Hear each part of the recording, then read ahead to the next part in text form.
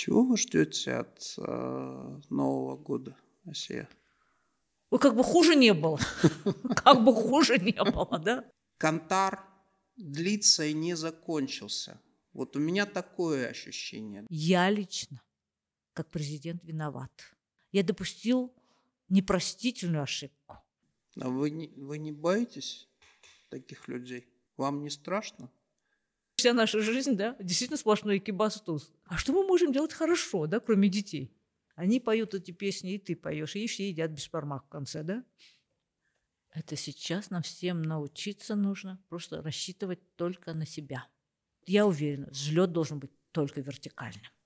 Только вертикальным. У нас нет другого выхода.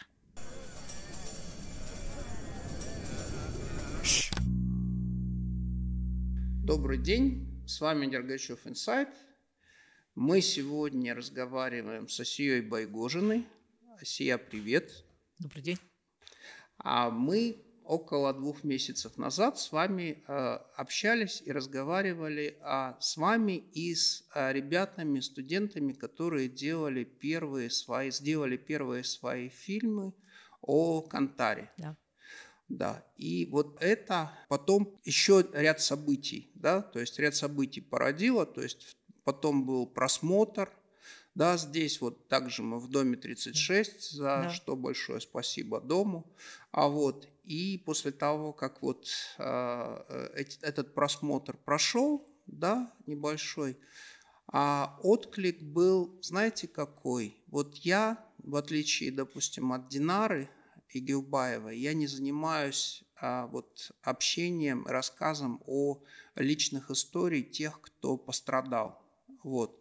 Но вот после, того, после этих событий ко мне стали обращаться люди, которые говорят, у меня убили брата, у меня погиб а, муж, да, у меня погиб родственник, да, вот я, честно mm-hmm. говоря, я ну, откровенно скажу, я не знаю, что делать с этой информацией. Вот, то есть я не знаю, как, а, как этим людям помочь и как вообще говоря к этому относиться, к этой э, вот ситуации, потому что они все говорят одно и то же. Мы не можем ничего добиться. Вот, а ощущение того, что Кантар длится и не закончился – вот у меня такое ощущение до сих пор. Вот у вас, вот мы сейчас разговариваем а, в декабре да, 22 года, то есть у нас вот Желтоксан, да, то есть такое ощущение, что Кантар до сих пор не завершен. Вот у вас так же или нет? Ну да, мы же постоянно двигаемся в круге. У нас эта история вообще не завершена, да? Вот история и Желтоксана, и Жанаузеня, и сегодняшнего э, Кантара, она не завершена совершенно, потому что мы двигаемся все время по одному и тому же кругу. Мы не можем выйти из этого круга. Потому что ну, нужно просто ну, вещи называть своими именами. А мы утратили такую привычку. Мы не ориентируемся в этом. Мне кажется, вот ясности в этом нет, а людям хочется правды, чтобы все было названо своими именами. Ведь даже по поводу Желтоксана – до сих пор же, ну, нету данных, да, полных каких-то. Все говорят, все данные есть. Да, они есть. Я тоже с этим согласна, что много, много всего вышло в свет Божий. То есть есть, например, такой человек, я его бесконечно уважаю, Талгат Айтбай. Он выпустил уже, по-моему, 14 или 15 томов. Он просто собирает свидетелей все бумаги, все документы. Вот он просто забирает. У него там коробка дома стоит, и он их выпускает том за томом. Находит какие-то смешные деньги на это. Ему даже один раз он э, воодушевился, когда к 30-летию ему даже Акимат обещал выпустить все тома разом.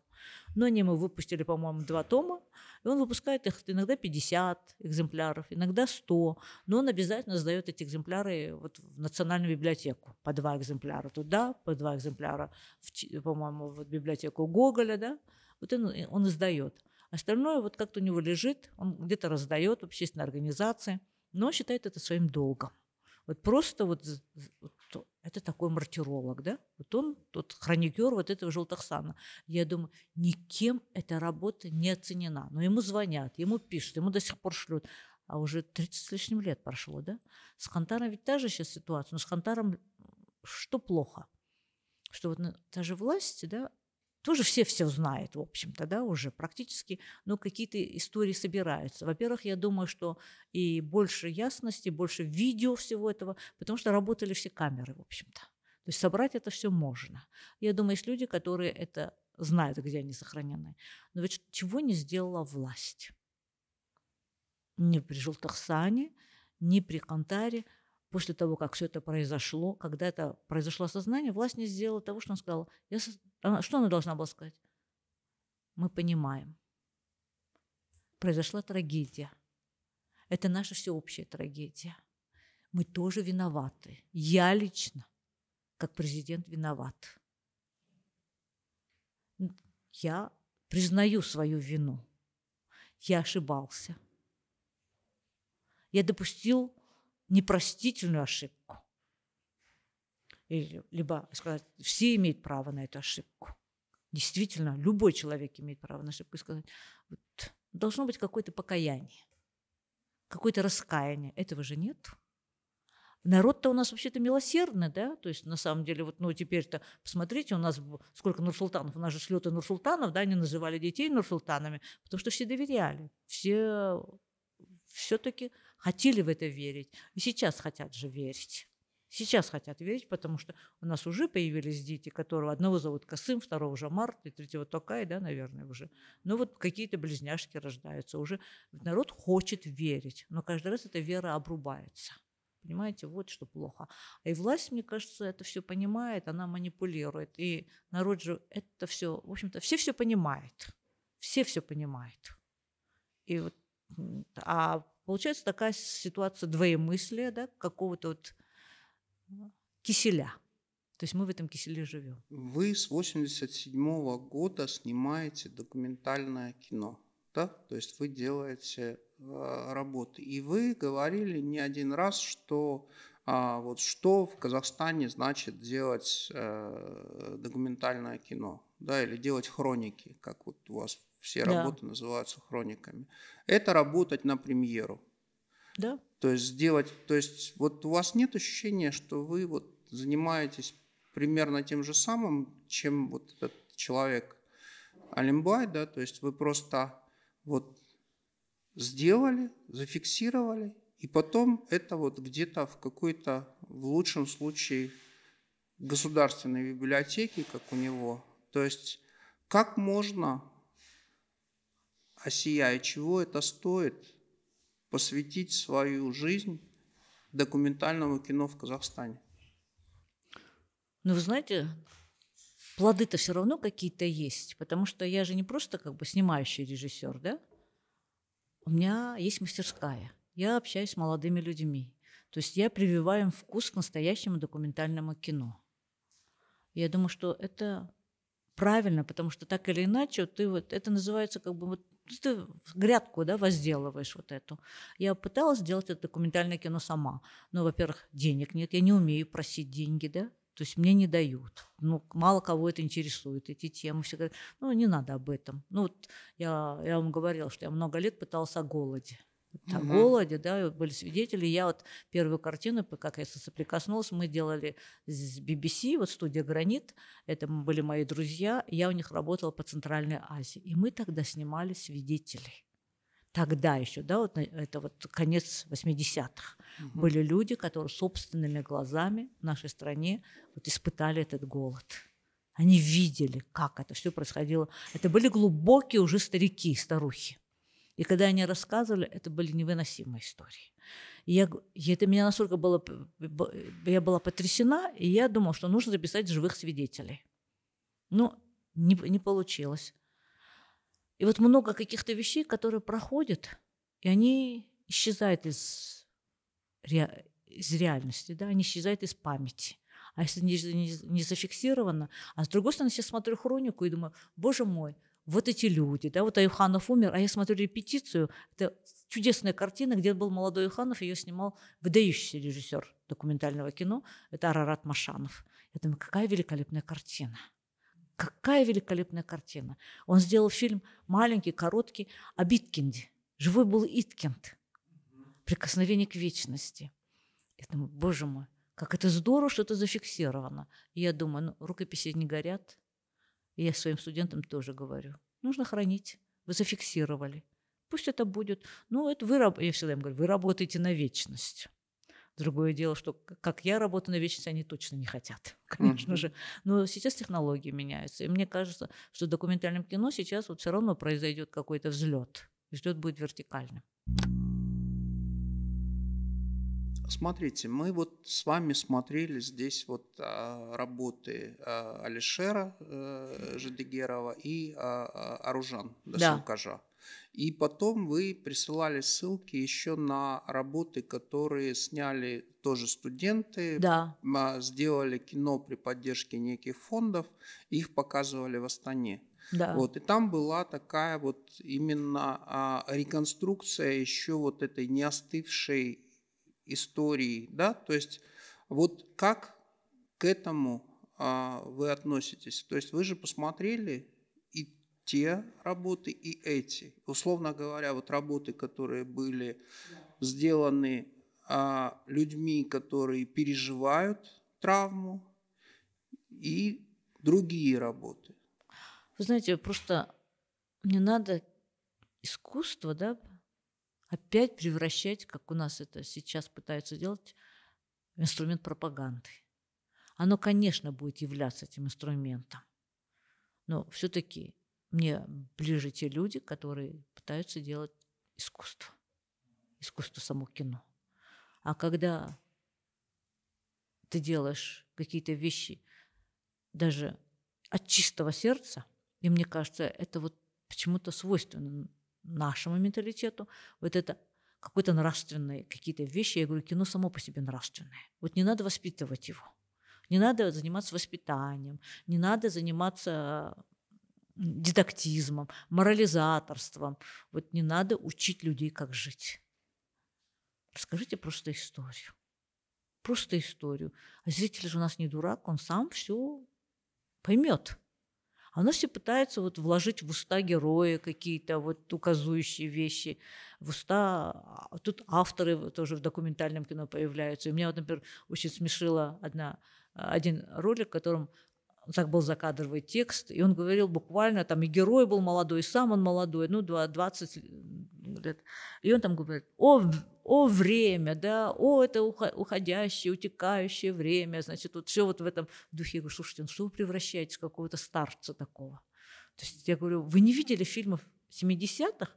Но и то они были, а снимаете уже как старики. Вот меня волнуют вот эти молодые старики, которые стараются снимать вот такое стариковское кино, мне кажется. Ну там же тоже ребята пытаются рассказать историю, но они ее выдумывают, да, то есть там вот эта сцена изнасилования в а, музее. жүректеріңде иман болса естеріңді жинаңдар бұл не қылғандарың қазақ үшін деп күрескендерің бес тиын ұрандарың өтірік егер бабаларыңның рухын сыйламайтын болсаңдар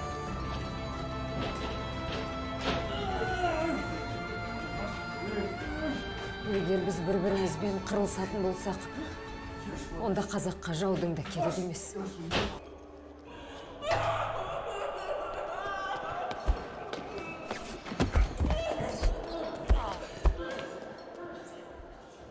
Ну, для драматизма, чтобы драматизма больше а было. вот как, как к этому относиться? То есть как, как можно а, драматизировать то, что еще не остыло, еще, собственно говоря, не а, вот эти э, люди не отпеты, да, еще год не прошел с э, расстрела на площади, и сейчас вот придумываются вот эти сюжеты, которые усугубляют вот ну, эту да. вот придуманную вину. Ну, это, мне кажется, тут дело вкуса, опять же, дело вкуса, и потом тут дело нравственного вкуса, да, такого, и дело художественного вкуса. И, он, и такой, у тебя должно быть чутье на эти вещи. Ты это видишь, ты это чувствуешь, потому что, ну, каждый для себя же ставит предел, да, э, какие-то. И вот в данном случае, ну, особенно когда ты снимаешь о недавней истории, которая только случилась, то тут в первую очередь, конечно, этические вопросы на первый план выходят. Этические вопросы, потому что, ну, о Гитлере сейчас можно снимать очень много разных вещей, да? То есть, что он был вегетарианец, можно снимать какие-то комические фильмы, можно снимать, ну, потому что уже прошло очень много времени. И можно снимать вот как бы как спин да, вот и такую, и можно снимать невероятную историю, что он пришелец, марсианин, что, ну, там он, ну, и каннибал, возможно, да, ну, все что угодно. Можно это потому, что уже есть нарратив, уже вся история пройдена нами, да, уже она изжита. А здесь же она действительно, вы правы, она не изжита. Она не изжита, она трагична сама по себе, а сделать еще как бы страшнее. А для чего? А потому что ну, нужен твист, да? Что такое твист? Новый поворот какой-то. Вот нужно для драматизма. Но он настолько в этой истории неуместен, и что при всем при том, что я посмотрела остальные все фильмы, я думаю, они очень неплохие. Они мне нравятся даже. Потому что я не разделяю вот такого вот э, негодования всеобщего. То есть они пытаются как-то поверить и они верят, наверное, э, в перемены, что все равно. И они на стороне э, как бы, другой правды. То есть у каждого своя правда. Они хотят быть на стороне от государства, которое все-таки справилось с этим, государство, которое вот становится на ноги, и те же правозащитные, правоохранительные органы, что они не все такие э, плохие, как нам кажется, да? То есть мне лично как бы вот не приходилось с ними иметь дело, да, и я бы не хотела иметь дело, то есть у нас один стереотип, у меня один стереотип, а вот они как бы доказывают вот другую. То есть э, я думаю, то есть это они же себе дали такой внутренний заказ. То есть это не внешний был заказ. То есть при всем при том, что им давали деньги, да, то есть они сами так думают. Вот в чем дело. Ведь мозги так устроены. Мозги вы, так устроены. Вы не боитесь таких людей, которые дают себе такой внутренний заказ. Вам не страшно? Это же молодые люди. А, но это плоды нашего просвещения. И просвещение, оно нам необходимо. И просвещение не в том, вот как бы, как э, понятие, как сумма, да, вот знаний твоих, а вот понимание вот в европейском смысле, в классическом, вернее, смысле, когда просвещение – это когда ты не опираешься на какие-то внутренние, внешние авторитеты, когда ты собираешься быть ответственным за то, что ты мыслишь, и ты самостоятельно можешь мыслить. Мне кажется, вот вся наша история – это вот история несостоявшейся свободы, драмы свободы. Мы не стали свободными людьми, потому что если я встречаю молодых людей, которые не жили в Советском Союзе, но они мне лично говорят, что как это было здорово. И это было хорошее время – я говорю, я жила в отличие от вас. Я много чего получила в Советском Союзе, но я знаю и другую сторону этой жизни. Я бы не хотела туда вернуться. И они говорят, а вы бы не хотели, да? Что вы, потому что получили образование, да, там, я говорю, вы же, я говорю, да, не хотела бы. Ну, потому что я знаю все-таки больший объем. А у многих вот это же ностальгия какая-то еще есть. Но я думаю, что это вот все эти печали от незнания или от дурного знания.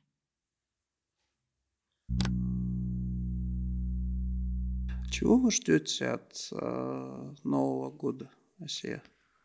Ой, как бы хуже не было. Как бы хуже не было, да? Потому что вся наша жизнь, да, действительно сплошной кибастуз получается. Я просто думаю, боже мой, там что-то случится, там может что-то. И как ну что же делать, что же делать? Да, все время как-то я думаю, ну, о себе уже не думаю, да, то есть на самом деле ребятам говорю, ну что мне, я уходящая натура, да, как говорят в кино, я уходящая натура. И что, что было, что прожито, то пережито. То есть, ну что я сделаю? Я сниму еще, может быть, пару фильмов, да? Я сниму, и, может, напишу книгу. Но мне же обидно и жалко тех молодых, которые вот только вступают в эту жизнь. Ведь молодость – это время, когда, время надежд. Время тогда, когда ты смотришь на все это, что это все, это жизнь твоя уникальная. И все же хотят состояться в этой жизни. Это же главное, что должно быть для человека важным, да, состояться, реализоваться. То есть он, важно, чтобы для этого были какие-то условия. А если в этой стране нет условий, не будет для этого условий. Вся же страна не может уехать, да? Вот, знаете, у нас вот был э, тоже один проект, это причем студенты бывшие наши, да, вот э, я им помогала, я там была автором, я думала, что я там буду каким-то шоураннером, да, про казахов зарубежья. Очень много делается фильмов про казахов зарубежья, да? Очень много, и все говорят, а чем отличается? И нам не дали, естественно, денег на него, а я говорю, это сериал, который мог бы быть вот просто очень кассовым тоже, да? А в чем там была проблема? А я говорю, ну вот все фильмы, которые вот снимают о казахах зарубежье, они там все плачут на взрыв, поют казахские песни, да, вспоминают свою отчизну, которая покинута 150 лет назад, да, и говорят, ну вот что они казахи, они не забывают корней и прочее. Ну, и непонятно, там ни формы нет, ни э, смыслов, просто смотришь и думаешь, а какие молодцы. Вот одна мысль возникает, а оказывается, вот они тоже казахи, мы казахи, они поют эти песни, и ты поешь, и все едят без в конце, да? Ну что? А тут был, мы нашли героев, которые состоялись за рубежом, они все казахи, они все там как бы прошли очень много, и они все хотят что-то сделать здесь, в Казахстане. То есть у нас был герой, который в Африке вообще живет, да? Он в Африке состоялся. Причем э, в Африке, в которой он там на него нападали, на его там, э, то есть он там его воровал, его грабили, он там с, с автоматом, с пистолетом спал в кармане, да, то есть он где-то ночевал на улицах, он не мог приехать, он из Шимкента сам, да, то есть он, он еще в 90-е годы. И он говорит, я не мог приехать, потому что, ну как я бы родителям показался. Потом он вывез семью, то есть семья. И он говорит, ну вот, у меня там химчистка. Он рассказывал, это совершенно были авантюрные какие-то приключения, то, что он говорит, ну я там для них был. Он абсолютно темный, да, абсолютно такой э, шимкенский казах. Он говорит, я там был белым. То есть я, у меня были преференции, потому что там был апартеид, да, то есть и я как-то имел преференции какие-то, то есть мне давали. И он говорит, у меня там химчистка. Я говорю, а, ну вы с ним записывали здесь все. Он говорит, химчистка. Он говорит, вы думаете, химчистка, вот то, что вы здесь, да, вот это вот, мы сидим вот в Анатолий Байкин, говорит, вот вы думаете, вот такая химчистка. Я говорю, а какая? Ну, ну, думаю, ну, два раза больше, что там? Он говорит, у меня химчистка – это целый завод. Вот она идет от, от Панфилова, да, начинает до достыка. Я говорю, это такая химчистка? Он говорит, да. То есть, и говорит, такого оборудования – Говорит, у меня новейшее оборудование. Люди там приезжают рано утром, да, едут на работу, они закидывают свой пакет, вечером они едут с машины на работу, им просто закидывают обратно этот пакет. Все, с них списывается. И то есть, то есть проходят годы, да, то есть он говорит, я хочу вот здесь. Он приехал в Шимкент, он хотел. Ему брат говорит, слушай, ты вот шлешь нам деньги, да? Вот присылай нам деньги. Ты будешь здесь тебя здесь просто ободру... ты, тебя как хлебку обдерут, и ничего у тебя не получится своим бизнесом. А я, говорю, смотрю, то есть как там мои родственники, это, и они все время дают какие-то взятки, они все время решают. То есть я говорю, а что нельзя по закону? Они говорят, пытались, ничего не выходит. Я думаю, ну вот эти люди, которые могли бы привнести этот опыт, да? тетка, которая в Сенегале, вот она прислала видео, она закончила наше хореографическое училище. Ее зовут мадам Слух я когда увидела это видео, абсолютно темные, да, черные девочки, пухленькие, там других нету, они все пухленькие. Этих пачках они танцуют хамажай. То есть они там все знают Казахстан благодаря ей, да, и она говорит, а могли, говорит, мне очень нужно, чтобы приехали люди, вы могли бы привести, чтобы мы устроили мастер-класс Э, вот, э, из Жургеновки, вот хореограф. Я говорю, у нас есть хореография, мы вам привезем. Она говорит, а мы могли бы устроить, это, показать этот ритуал вот, э, на, на Урыза. Я говорю, мы можем. Она говорит, а меня знают не только в Сенегале, да, то есть там какие-то сопредельные, там какие-то африканские республики. И она говорит, вы могли бы вот это с вами... Я говорю, знаете, об этом нужно думать, да? Об этом нужно думать. Но вот такие роды герои, которые хотят привнести свой опыт сюда – они несут этот флаг Казахстана, да? Причем не вот этот вот флаг, да? Они его несут внутри себя. То есть они ведут себя как казахи там. То есть они приумножают эту славу. И они бы, многие хотели бы здесь что-то делать. То есть если они прошли, вот я думаю, что казахи, если они прошли все это, они состоят, они же могут здесь. А что им здесь мешает? Они не глупее, да, остальных получается. А мы здесь ходим какие-то эти самые недотыкомки, да, такие – что не получается. Я думаю, какие перспективы? Вот я читаю там об Уралмане, э, о Хандасе, да, который из, из Монголии, вот в моей родной Павлодарской области. Он говорит, дайте мне землю. Дайте мне землю, на которой я мог бы пасти скот. Мне больше ничего не надо. Я сам займусь, и говорит, я буду вот поставлять вот тут, ну, а у нас мясное, да, мясное скотоводство, то есть как бы у нас они, он это умеет. Мы здесь все растеряли навыки, мы ничего же уже собственными руками производить не можем. А у него есть братья, у него есть дети. Он говорит, ему не дают. И он там, я вот читаю на этих э, разных сайтах, казахоязычные сайты, и вот я читаю его обращение, думаю, ну что ж такое, да? Ну что вот это?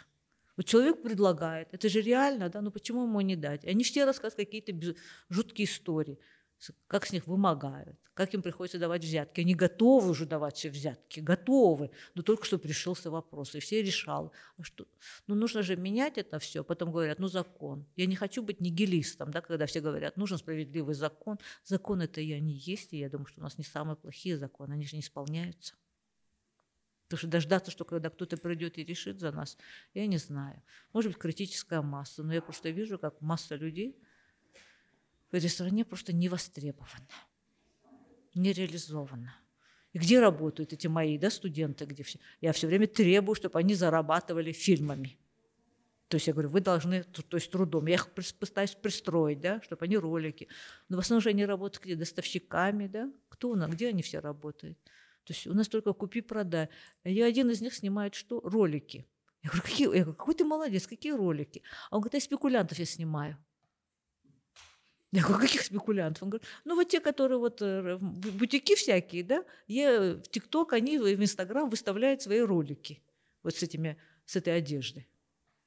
Ну вот он их снимает там на 25 секунд, на 30, и как бы за это получает натурой, да, то есть той же самой одеждой. Но я благодаря им много чего узнаю. То есть дома говорят, слушай, а что полезного тебе, твои студенты? Потому что одно время студентка моя, одна моя студентка работала официанткой. Я перестала ходить в рестораны. То есть, кроме определенных, я перестала ходить в рестораны. Какое-то время я не ходила. Сейчас опять хожу, как-то вот стерлись воспоминания.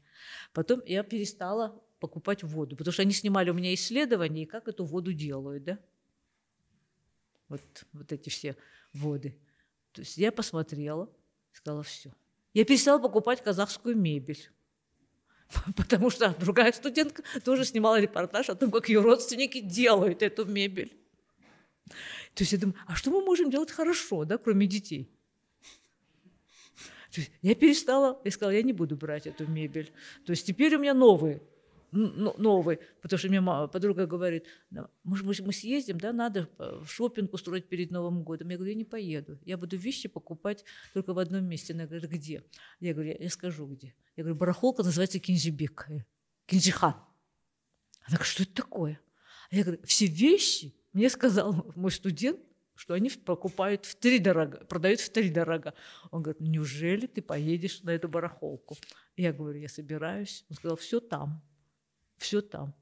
То есть он работал в этих всяких сетевых, где магазины, да, вот сетевые магазины. Я поняла, что там тоже нельзя, оказывается. Вот только в таких крупных. Я даже не буду сейчас их называть, когда он для этого где покупал. Вот магазин, он снимает своего героя.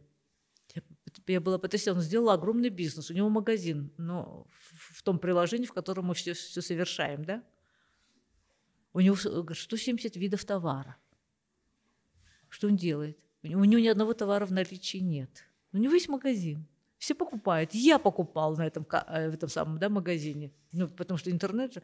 А он едет на барахолку, покупает. То есть он, ему там цена, ну, то есть он навар свой имеет. И когда я поняла, я думаю, как люди живут. Ну, люди вообще гениальные. И этот парень разбогател благодаря, знаете, чему? Мишкам. Что такое мишки? Вот эти огромные мишки. И вот он говорит, вот я купил, мне эти мешки достались, вот они всюду продают в цветочных магазинах. Я купил на 4 тысячи тенге вату, за 2 тысячи продается чехол этого мешки. Это перед 14 То есть один мишка мне обходился в 6 тысяч тенге. Я его продавал по 15. А 14 февраля я продал 25 мишек. По 25 тысяч тенге. Ну, все готовы, ну что, да? Я говорю, я говорю, ну надо же, додумался. Говорит, чехлы вот эти продаются. Набиваешь, говорит, ну там просто набивать надо плотно и сложно. Вот этих мишек. Я, думаю, я много чего нового узнаю про нашу жизнь. Да? Это, об этом вам реальная документалистика. И вот он говорит, да, и так вот он сделал. И уже я понял, что надо, 14 февраля прошло, надо готовиться к 8 марта. По-моему, продал 60 мишек. Ну, представьте, так за... Ну, а я говорю, что их берут? Перед 8 марта, оказывается, еще берут перед этими праздниками. То есть я, посмотрев эти ролики, он говорит, вы понимаете, вот эта вещь, говорит, стоит 70, мальчик мне говорит, да, 70 тысяч тенге. В соседнем бутике она стоит уже 110. А на самом деле ей цена 30 тысяч тенге. И все они взяты из одного места. Я говорю, это называется э, вот барахолка, это кинжихан я все собираюсь туда съездить. Я, правда, думаю, что я потеряюсь, да? Но вот это вот и что? Все занимаются вот каким-то, то есть реального это дела нету. То есть я, конечно, смеюсь, да, но получается, что, во-первых, утрачены навыки к реальному труду.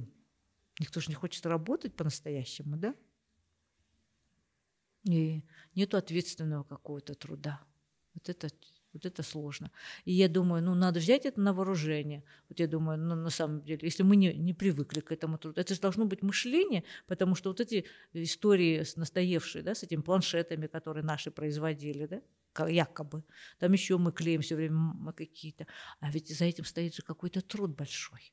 То есть это вот просто мы говорим, ну вот немецкие машины, за этим же стоит какой-то труд, это стоит труд ума, да, то есть это все нужно придумать было, это все нужно было организовать. Мы же не привыкли к такому труду здесь. А вот те, которые вырвались, да, они сумели, что нужно встроиться в этот ряд, технологичный. Потому что я думаю, у нас нет технологов. То, что мы выпускаем режиссера все время, какое, я говорю, какое счастье, что не, не, не хирургов. Я постоянно говорю, потому что я знаю качество наших режиссеров, да. А я примерно представляю, что такое хирурги тогда. То есть мы же все в одном ряду стоим, да. И это страшно же, страшно на самом деле. Потому что, ну, троечник и двоечник э, режиссер – это ничего. Он будет в этом потоке работать, да, ну, будет на каких-то. А представьте, двоечник и троечник хирург. А мы в этом потоке живем все. И Кажется, качество. я, я начинаю понимать, что такое э, на самом деле ваша жизнь и что такое кинодокументалистика. Реальная жизнь, реальная жизнь, магия реальности. Не, не просто магия реальности. Вы каким-то занимаетесь совершенно извращенным способом выворачивания всего наизнанку, и вот никакой возможности а, увидеть вот этих самых мишек без их нутра не оставляете. То есть у вас все вот так вот. А давайте посмотрим, что там. Да. Оп, да, что а внутри. вот оно. Да, я всегда говорю, что нужно, да, до конца. Э, ну, надо же все время вот размышлять и думать, да, вот что я говорю. Ну, для режиссера важно всегда думать и формулировать. И, и да. что такое наша жизнь? Это бесконечные, понимаешь, вот обманки. Если мы действительно утратили навыки, утратили технологии, утратили мотивы, для того, чтобы что-то производить, что-то делать, что-то создавать. Чем мы занимаемся в этой жизни и в этой стране? Это сейчас нам всем научиться нужно просто рассчитывать только на себя. Не рассчитывать на государство, а у нас это есть. Что мы все время рассчитываем, что кто-то нам придет и поможет. Никто не поможет, никому не поможет. Нужно рассчитывать на себя, на свой круг, на своих близких людей и на то, что ты возделаешь вот эту грядку, и на этой грядке что-то вот рядом с тобой будет, э, нужно спахивать заново это поле. Нужно спахивать и знать, что, вас, что ты не увидишь, возможно, даже этого урожая. Но сейчас ты должен ответственно подойти к этому труду. Ответственно. Потому что, ну, нельзя жить какими-то, вот вы говорите, обманками. Всем говорю, имейте мужество жить без надежд без надежд. Потому что надежды только они обманывают, а вы должны точно ставить себе какие-то цели, задачи. Мы должны это сделать, мы должны это одолеть. У нас ситуация такая, это мне нравилось, как это формулировал Ауэзов, он говорил, ситуация настолько безвыходна, что выход может быть только блестящим. Что нужно вот сейчас вот превозмочь себя и, и как-то вот суметь объединиться. Я не знаю, вот сейчас, мне кажется, единение важнее всего еще. То есть понимаю, я вчера вот как раз вот говорила вот с Сергеем Дувановым на эту тему, да, вот с Хасеном Кажахметовым. Я говорю, ну нужно прекратить эти распри внутри себя, друг друга. Ну нужно как-то понимать, что других нас нету. Мы такая маленькая страна, мы все друг друга знаем, со всеми плюсами, минусами. Ну что делать, других у нас нету. Мы такие, как и есть. Но нужно же в каждом какой-то есть росток. Ну, каждый уникален, каждый незаменим, каждый что-то собой представляет. И вот тянуть вот за это вот, за этот плюс, за, э, ну, видите, среда должна располагать к этому, окружение. Если они благоприятствуют, да, то есть, ну, как писал Довлатов, да, что вот это ну, одинаково, человек одинаково расположен к добру и злу, одинаково. Вот надо, чтобы вокруг все-таки Нет, вы какие-то вещи совершенно немыслимые предлагаете. Вы предлагаете отказаться от возможности производить 2-3 года планшеты, которых никто не производит, и на этом а, освоить несколько миллиардов тенге. То есть вы действительно верите, что мы от этого откажемся? Что мы перестанем заниматься вот такими вещами, когда это наше все? Ну вот это же есть перестройка какого-то своего сознания, да? Если, ну, ну тогда надо сидеть, если ничего не, не делать, если как-то не наметить какую-то себе планку, потому что вот сейчас нельзя вот двигаться по горизонтали. И нельзя, мне кажется, двигаться, вот как говорят, постепенно, постепенно, да, бертенге, степ-бай-степ, да. Вот я уверена, взлет должен быть только вертикальным только вертикально. У нас нет другого выхода. Мы просто погибнем, просто, да, мы растворимся сейчас. Масса других людей, масса других государств, в которых мы можем раствориться и которые могут здесь все, все сделать как очень хорошо. А мы-то при чем будем здесь? Мы-то при чем здесь будем? Мы не будем ни хозяевами этой земли, да? Мы не будем ни людьми этой страны, просто не гражданами. А кто мы будем? Просто перекати поле, что ли? Мы из ничего. Ну, нужно как-то менять мышление. А у нас же нет такое вот стратегического мышления, мне кажется, на самом верху. Мы же привыкли все равно как-то. У нас государство, оно уже все равно спускает. Оно все время выдавливало из нас людей как, как таковых. Оно всякую инициативу, оно гасило, потому что инициатива должна принадлежать только им только им, а если отсюда, она должна быть такая какая-то раболепная инициатива. А у них есть инициатива? Они сейчас понимают, что нам предложить в качестве инициативы? Вот, а с, вот с этим напряженно. С этим напряженно. То есть там же нет ни идей, ни, ни инициативы. Ну, то есть есть одна большая идея, это проводить огромные международные конференции. Акции, э, да, да, акции, вот, акции, разовые, да, разовые какие-то да. акции. Нету. Мне кажется, это все временщики. Это какие-то временщики, которые вот пришли, вот надо сделать. Они же никого не выслушивают, они ни с кем не считаются, они знают все. Они, они приходят с каким-то уже набором того, что они знают, как надо. То есть помните у Галичи, да, не бойся ни мора, ни глада, но бойся того, кто придет вам и скажет, я знаю, как надо. Вот они все знают, как надо. Они все нам дают указания, как надо. Они дают нам указания, как снимать кино, они дают нам указания, как вести сельское хозяйство. Они нам дают указания, э, как нам разбогатеть, завести там коров, да, или что нам нужно сделать. Они, дают, они все знают за нас. Они все знают, а мы привыкли, ну да, раз они все знают, мы ведомый народ. Мы ведомый народ. Мы говорим, хорошо. Но при этом кто-то говорит, а, вот они знают, да, ну вот здесь я подхимичу, да, я, значит, вот здесь ворую, я здесь. Ну, потому что, ну, воровать у, такого, у таких не зазорно. У таких не позорно, и это не дело. Раз они так делают, а почему бы мне?